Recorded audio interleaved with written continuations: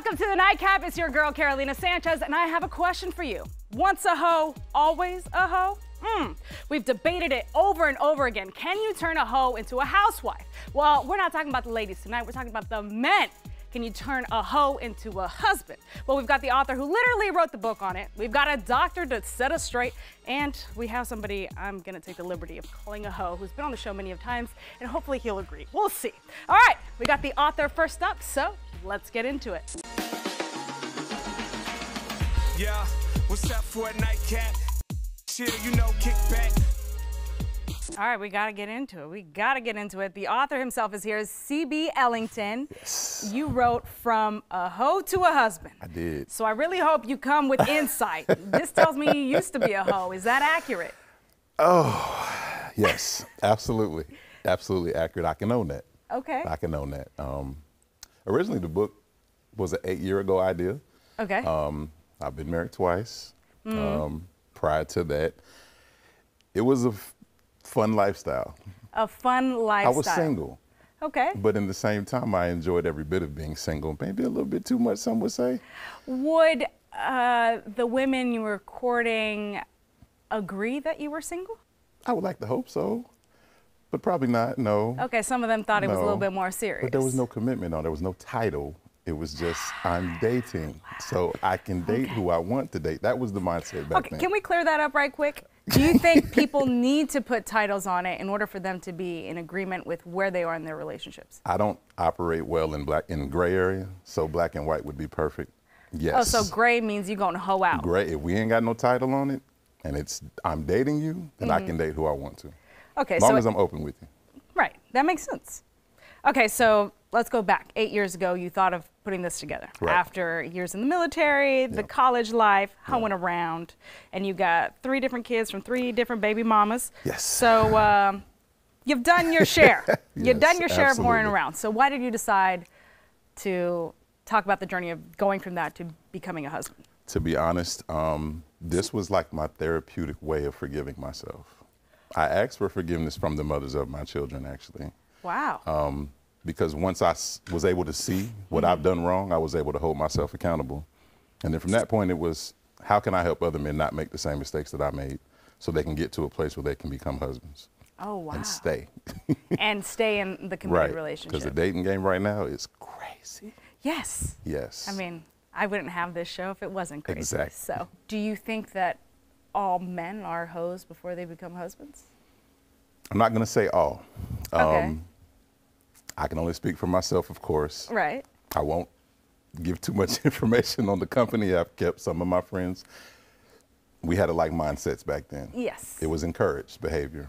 Right. Um, that's described in the book as well, especially in college. Mm-hmm. I went to HBCU, Mm. um, Winston-Salem State University, North Carolina, and we partied a lot. Right. And with that lifestyle came a lot of fun nights and stuff I don't remember. Mm. but it wasn't encouraged behavior, and looking back on that now, that wasn't the correct way to live at that time. But obviously, you wrote this because you think there is a form of redemption. There is Yes. possibility for change. Absolutely. With the proper tools. Okay. What are the tools? For me, it was therapy, hands down. Therapy. After my second marriage, um, I knew that the women I dealt with didn't have a problem loving me. Mm. I had to figure out why I had a problem loving them. And that started with self. So I knew that I had to get some help. So I checked myself in. Nobody told me, nobody forced me, coerced me. I went and checked in myself. Really? Yeah. Yeah. That was the best move I've ever made in my life. Was starting to go to therapy. Hands do you down. still go to therapy? Yes, I do. Wow. Yep, two and a half years strong now. Wow. So, are you currently in a committed relationship? No, No. I am working on it. Okay. We're getting there. Um, but I know now to set my boundaries. Per my therapist's advice, okay. I had very impulsive ways. And Mm. he was like, you need to slow down. You need to get to know Cedric, uh, get your values in order, get your boundaries in order, get your self worth about you, love you Mm-hmm. before you can engage into another person. So the thing before me was always sex first, and Mm. then we'll see if we can make it after that. And that was the backwards mindset that I had then that I'm trying But I mean, but now. is that so wrong? Like, I, mean, feel like having people- sex and having a good sexual relationship shouldn't stop you. Shouldn't. Some people want to drive the car before they buy it. I get it. But in essence, should that be the basis of the relationship? No, it shouldn't be the basis, but I don't think Right. it's it's a problem to have sex before you get committed. I don't either. But the problem for me was if the sex was, eh, I was kind of checked out early. I feel like that's a preference. Like I want to have a good sex I do. life. I do. But I also want to get to know who I'm going to be living this life with. Are we a good partner together business wise? Can we be together spiritually? Are you a good fit for my children? Like all of that has to come into play too. And unfortunately for me back then, if the sex was whack, I was I would I wouldn't even get to that stuff. You know what? I am very excited for who's going to be joining us on this couch later. because my friend who's coming to join us loves sex, and I feel like he would not get in a committed relationship if uh, if the sex wasn't good, and probably sit there with you. the toughest part. I actually, my second marriage, she was tired one night, Mm. and that deterred me quickly. Wow. Yeah, I checked out right then. The moment she denied you. Yeah, Oh, that's wild. absolutely did. Okay, we're gonna have to talk more about this. That. Yep. What? Okay, all right, you stay right there because coming up next, we've got our friend Scott Shunk joining us and a doctor who loves that this man goes to therapy. So you stay right there. We'll be right back.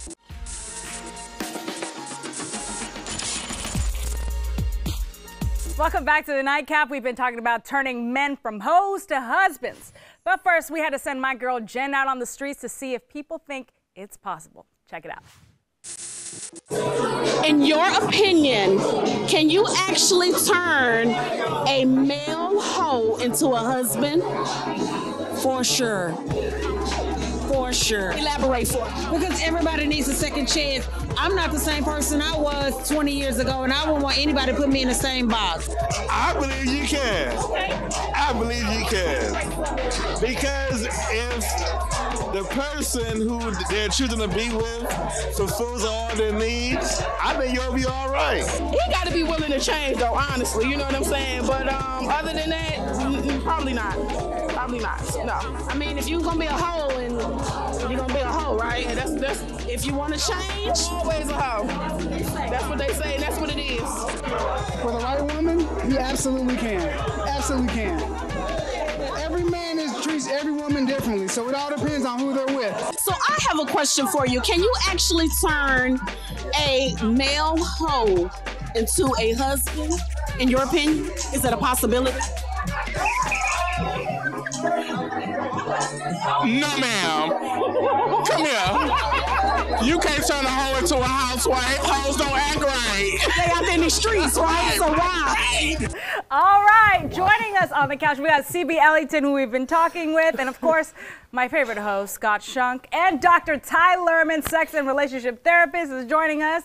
All right, we got a- an array of answers. Indeed.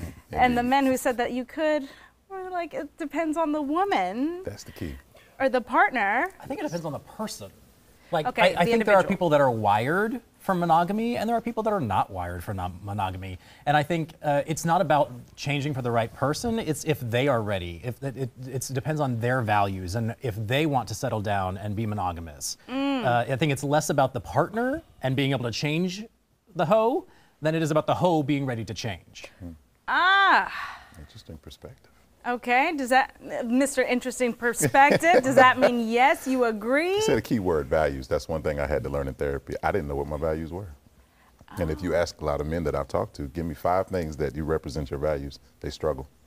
So if you don't know what you're standing on, then what are you basing everything that you live off of? So I didn't. I had to learn that. I really did. I think between what has been said, I think there's definitely, I know that I've changed because of the energy and the relationship of my partner. But I also know that, like, you know, like, I agree um, with what Ty, what Ty said. uh, Like, I, I have to be, or whoever has to be ready to make those changes. The point about, like, waiting to have sex, I mean, I get that, but I totally disagree with it. You know, I think you jump in and you, you, you know, you, you, you give it a ride. You do test drive that car before, before you buy it. Right. You know? I think that too is, is based on your values, right? If you're if you if you have if sexuality and sex is a big part of your values and a con, and your connection with another human, then yes, that makes Right. total sense.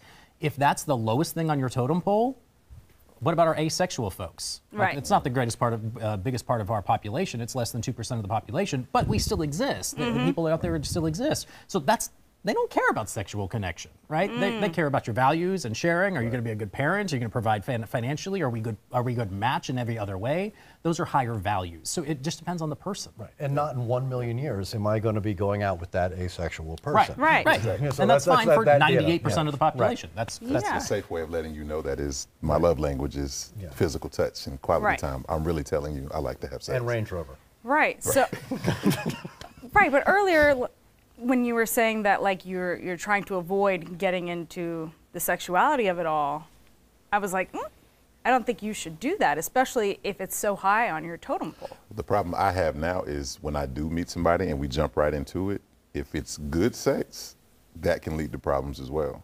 Okay. So sometimes I kind of, I'm hesitant on jumping full speed into it, giving them the platinum package. Well, I Well, we get, but we get into o- this is the oxytocin thing. I mean, you know, you know, make a girl come. There's going to be connection. We got oxytocin in this in this whole mix. But I mean, if you gauge, if I, I can't gauge the sex with a partner in the first time. I mean, it's like I mean, I'm willing to go through that. It's like you know, I don't think great sex happens till at least the third, fourth, fifth time. But I mean, a you can have. misnomer. Like many people expect that. They're like, oh, if the chemistry is not right, if the sex isn't perfect the very first time we have sex, then this isn't the right person. Mm. And I absolutely agree with you. I think good sex takes time because you got to learn a person. Yeah, mm-hmm. How one person likes sex is not going to be how the next person likes sex. You got to learn their likes, their their pleasure zones. I think that was my problem early on when I first wrote the book. Back then, if I didn't get my way in that area, I checked out quick. I mean, yeah. If she said she was tired and you said I'm done, And I'm like, I'm a husband. wild. Why am I being denied? Like, no, that's not gonna fly. And I went to the study room and started watching porn. And she had a problem with that. Oh, that's a whole other a whole- conversation. Yeah. All right, y'all, whole other show. y'all stay right there. We'll be right back, baby.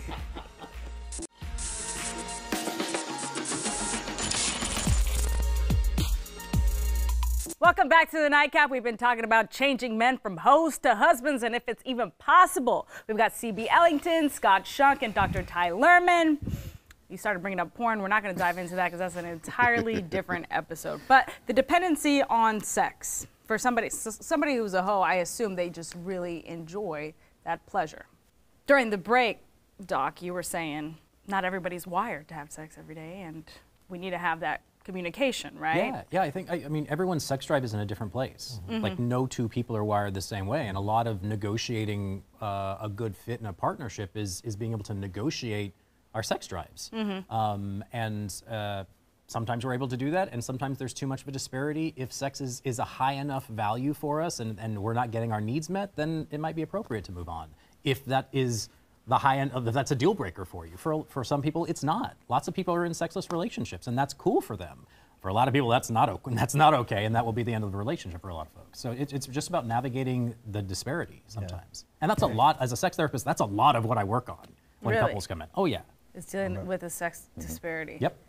So are there ways to work through, like, let's say CB was in a committed relationship, got denied one time, and then was like, I'm in the den watching porn. I feel like number one, that that wasn't such a bad move. Like you didn't go out and seek somebody else Right. off gate. For some people, porn is cheating. That's Is what I got. Exactly. Yeah, Okay, for some yeah, people, uh, that, that's, I don't think You're that that's the norm, like but that- this, that- Scott, is people- that- Well, no, no, I, I. I mean, I mean, you know, I just, you know, we, the, we, we, we covered a lot in the break, and uh, you know, the, yeah, I, I, I understand that my partner is not always going to be, you know, physically or emotionally or spiritually ready to dive into sex. I've got to make those accommodations. Um, I don't, porn is not my thing. I mean, I make it, I don't watch it, but you know, it's like, you know, Mm-hmm. it's, it's, but it's, it's. I mean, I've always got to be understanding of my partner wherever they are, or whoever I'm with, for that matter. I mean, I can't, I just can't expect it. At the same time, I will not grovel. I will not grovel. So there's, there's, you know, like I'm not going to beg for sex. So there's, there is definitely a line to divine between, you know, what is, what is asking too much, and what are having basic needs met for, for someone, you know. And it's like, that, you know, I think, I think most couples can probably find their way to that, and most couples can also find their way to a therapist chair and, uh, and, and, and, and, and keep him in a nice jeep. All right, so for men out there who recognize that they're hoes, but they're lonely because they really just want to get booed up and get committed, what work should they be doing? You just said something I think is worth worth noting. Uh, commitment does not equate monogamy. Okay. So we can be in a committed relationship and also engage in consensual non-monogamy. Mm. So, like, I I think that that's a really important piece. Uh, commitment is not monogamous, and so we can we can be very committed with multiple partners, right? Uh, commitment is our, our dedication to the partner that we're with or partners that we're with, um, but that that has nothing to do with monogamy. For Right. some people, it does. That may be their values and that's how they're wired, and that's perfectly fine. But it doesn't have to be. So when, when we're talking about like commitment, uh, if, if what we really mean is monogamy, let's say monogamy. Yeah. Yeah. Okay. I love that. I've definitely, I've definitely been very committed to multiple partners at a time. I mean, there's Did a the compartment. multiple partners know about right, no, no, no, I mean, but yeah, there's like, no, I Was mean, it like, there's a- I- ethical there's non-monogamy? There's a compartmentalization Oh, across Lord. multiple partners. I mean, I, I, I'm sorry, I, maybe I misconstrued that point. but tying that back into your question, uh, the, the the the commitment, right, or, or the Mhm. monogamy piece is that we can be hosed with a single partner. Like we can have a lot of sex with with a monogamous partner. Mhm. So I think it's it's just about again our values and our communication about what we, our needs are and being able to explore those things. Keyword communication. Communication. And that's what I had to learn. Put that out up front. Well, I think uh, the communication piece is actually step two. Step one is the insight. It's knowing what your needs actually are and discerning needs from wants. You may want to have sex every single day, but your need may be more like at once or twice a week. Maybe it's once a week. Maybe it's once a month. Whatever that need is. But the, and that's the needs are the deal breaker, right? The wants are um, I would like to have, and they are different thresholds. The, the point of like the, the, the denial of wants and breaking up with someone that was probably a want that was missed, not a need. Gotcha. Mm. Right, and so some we, we confuse those things all the time. But the insight is knowing where the, where is the threshold, where is the line in the sand where my needs are no longer being met, and then we start talking about it. Mm. That makes sense. All right, so to break down what I've gathered. Number one, somebody else cannot change a hoe into a husband. It has to be the hoe You themselves to who that, wants absolutely. to become the husband, right? And they have to do the inner work, whether it's by themselves or visiting a doctor or a therapist like my guy Ty. And then third, communicating that needs versus wants with their potential partner or partners. Absolutely. Yeah. Got it? Absolutely. All right, and you can pick up the book Absolutely. from Hoe to Husband. From HodaHusband.com. Thanks for coming on and talking about y'all's hoe tendencies and your expertise. I really appreciate it. All right, coming up next, I actually get to go hang out with Lance McCullers and Co. because he just opened up a Maven inside Toyota Center. So stay right there. We'll be right back.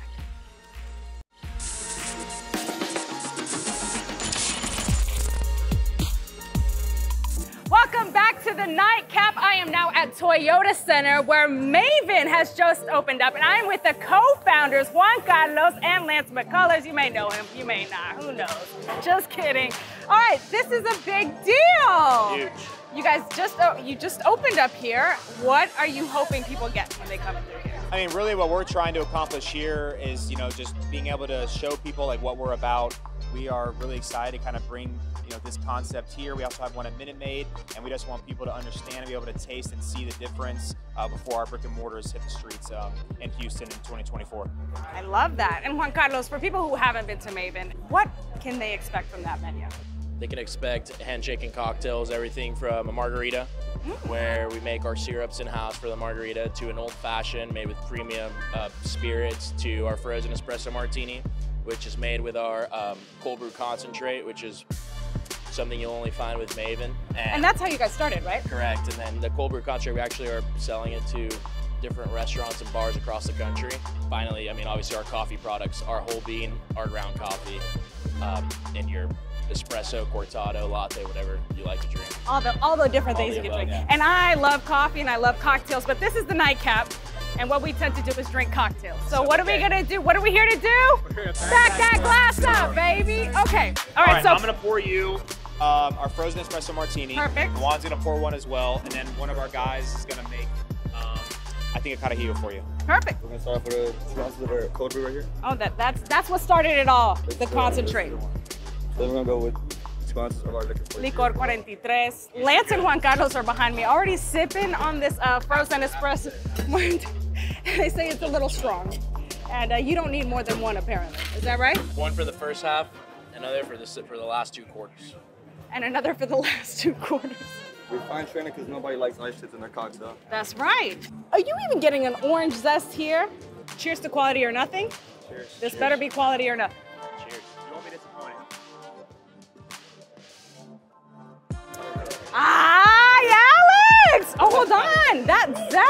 Tops it off, right? That tops it. I've never had that before. I, I be doing a lot of drinking. This is very good. I'm glad you're enjoying it. I do want to try this um, frozen. Lance can actually pour himself. I'm proud of him. This is a family, okay? This is a family.